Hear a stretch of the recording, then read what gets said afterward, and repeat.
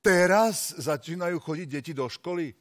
Teraz, keď rodičia konečne pochopili zlomky. Teraz.